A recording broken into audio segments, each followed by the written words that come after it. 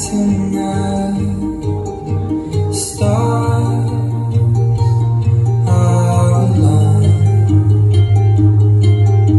Sweetest thing to cross my eyes.